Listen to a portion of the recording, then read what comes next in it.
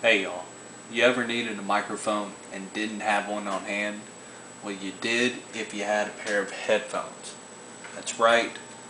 All you do is you plug any pair of headphones into any microphone jack, press the record button, and talk into the left headset.